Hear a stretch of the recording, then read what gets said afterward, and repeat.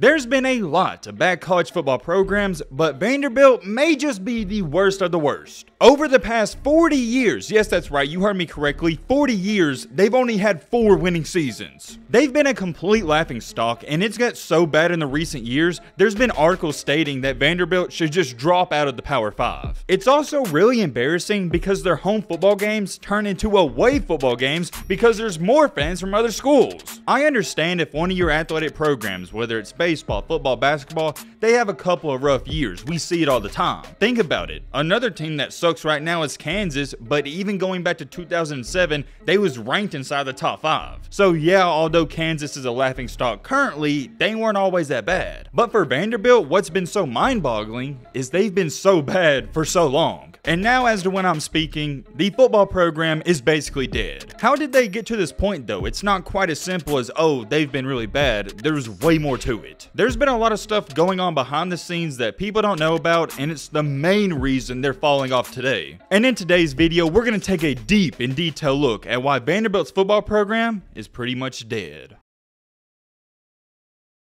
What's good y'all? Real quick before we jump into this video we are on the last and final stretch. We're under 10,000 subs from 200,000 if you enjoy the content or you simply been watching and you're not subscribed I would greatly appreciate if you join our family and help us out. I can't stress this enough. Whenever we gain new subscribers it helps out the channel tremendously. It would also make me happy if you subscribe. If not that's cool too. And now without further ado let's get into it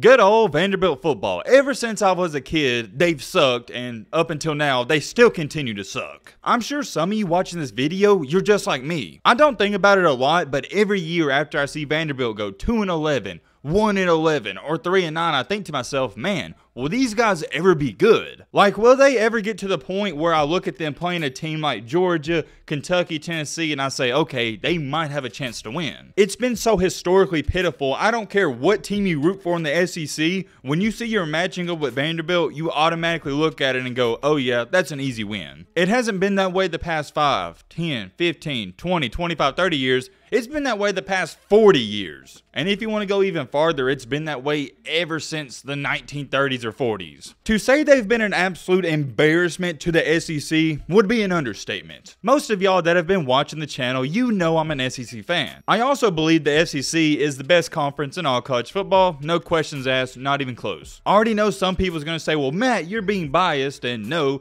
they just happen to be the best conference and also happen to be the conference I root for. I think the separation from the SEC and whoever you want to label as the second best conference, it's not even close. It's not, it's really not. But the one team that makes the SEC look bad, and I mean very bad, is Vanderbilt. Nobody talks about it though because the conference in a whole and as a unit, they've been so dominant the past 15 years. And most Southeastern Conference fans, including myself, we don't even consider them really a part of the conference. We just brush them off to the side like they're nobody. We just kind of look at it like this. Oh yeah, that's Vanderbilt. Don't worry about their football record. They just help us in baseball and academics. When it comes to college football, we don't even act like they're a part of the family. Should it be that way? No, but it is what it is. And it's like that one uncle that comes to the cookout. Or not an uncle, but you all know that one family member that we hope they turn their life around and year after year they continue to be a failure. That's Vanderbilt football. SEC fans all over, they've pretty much given up to them when it comes to football. I got tired of it though. I was like, okay, we know they suck,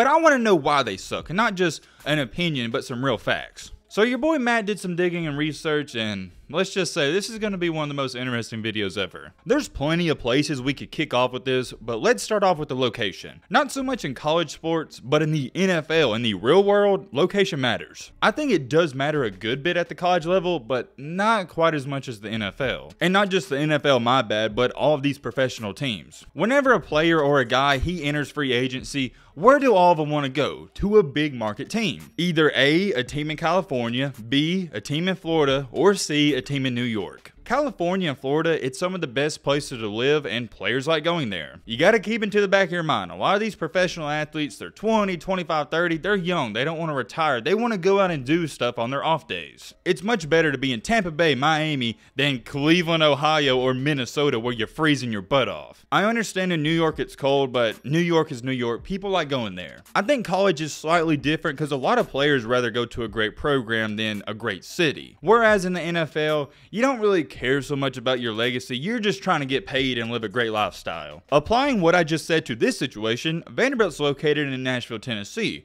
not necessarily a bad place to live. I've been in Nashville a couple of times. It's not Los Angeles big or New York big or Miami big, but it's a nice place to live. Let me put it this way Nashville isn't really too cold like Minnesota or Cleveland, so it's not like Vanderbilt's located in Michigan or Maine where it's freezing all the time. I wouldn't say Vanderbilt's located in a great location, but it's a good one. It's warm, it's in the city, and I would also say Nashville is a better place to live than Tuscaloosa, Alabama. Nothing against Tuscaloosa, but I haven't heard too many people saying, oh yeah, I want to go to Tuscaloosa, Alabama, but I have heard people say I want to go to Nashville, Tennessee. Putting all that together, I think we can come to the terms with and agree with location shouldn't be a problem. Moving on to our next aspect, I think it's the most important one. Here's what somebody had to say about a Vanderbilt coach. I like the coach, I like what he's trying to do, but he needs players. I've heard time after time people say this about every single Vanderbilt head coach. Yeah, he's a good person. He could be a great coach, but we don't really know because he doesn't have good players. Over the past 5 to 10 years, I've watched Vanderbilt play a lot,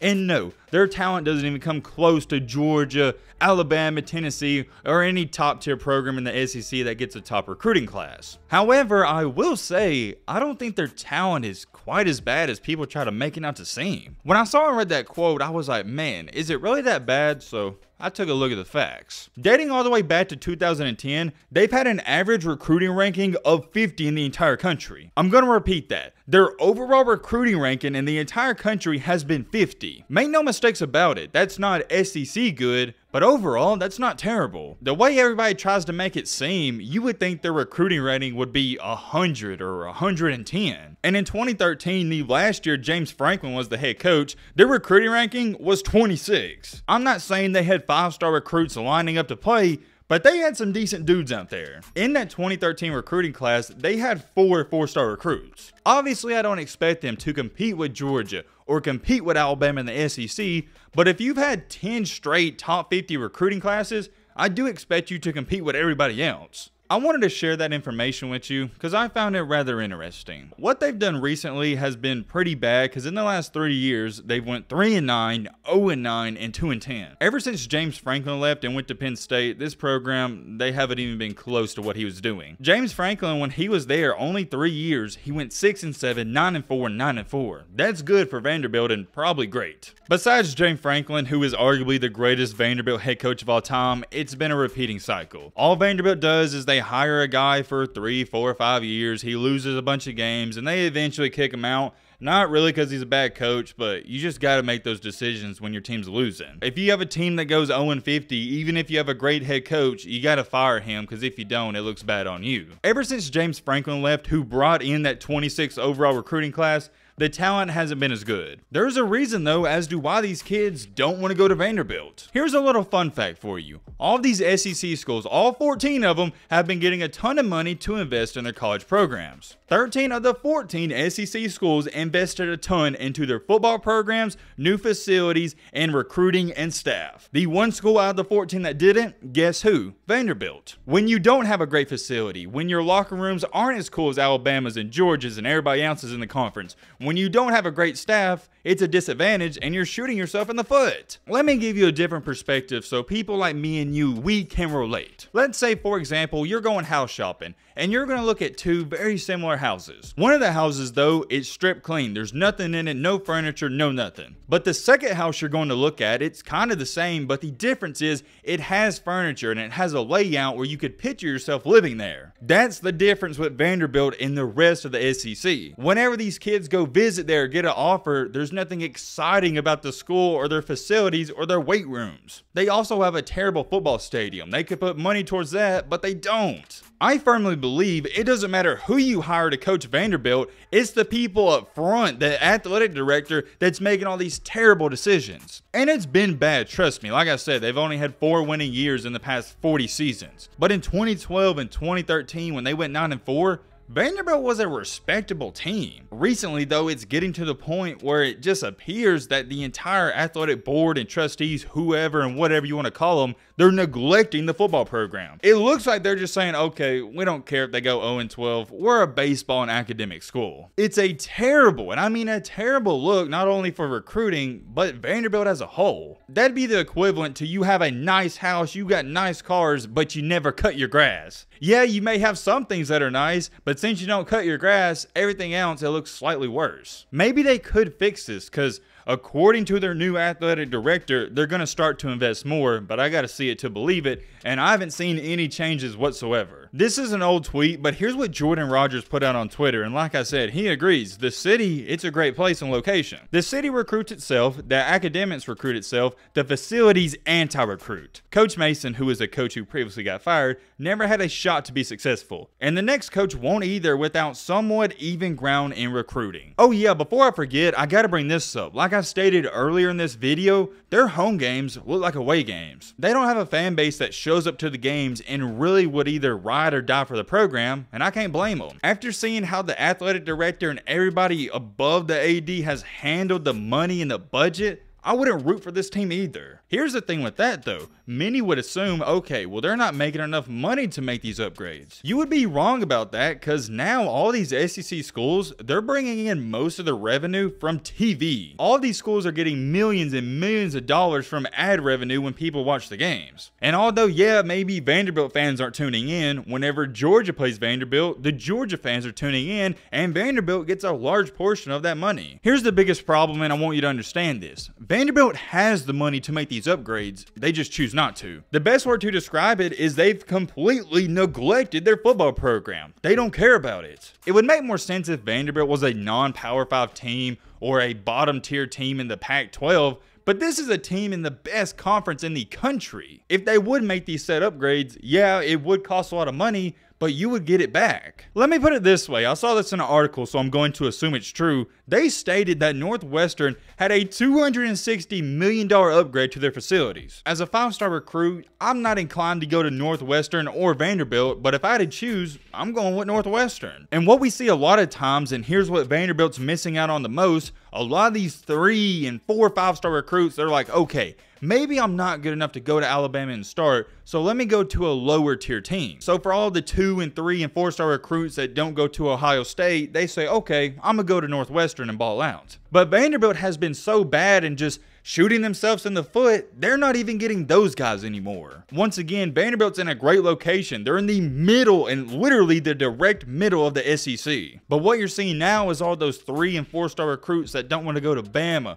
Georgia, LSU, whatever Southeastern Conference team, they're not even thinking about considering Vanderbilt. They're going to go elsewhere. The people who are running the operations, they don't care about their football program. They are literally letting it sit there and die right in front of their eyes. It's so sad, it really is, and you can't only help but feel sorry for the players in the locker room. I already know somebody's going to say, well, Matt, they get to make that choice. They chose to go to Vanderbilt. Well, you got to understand a lot of these guys, they're being told things are going to change, and they just never change. I've never seen anything like it, and I know this is kind of random, but Auburn right now, that is a tough coaching job, but at least you're not set up to fail. At Vanderbilt, if you walk in there, you're set up to fail. I think it's to the point, there's only one man that could save Vanderbilt football, and I'm even questioning it, and that's Nick Saban, the greatest coach of all time. And the only reason I think he could save it is because of how legendary he's become, and people respect him so much, he could bring in his own five star recruits and staff. I'm telling you right now, though, I'm a Nick Saban guy.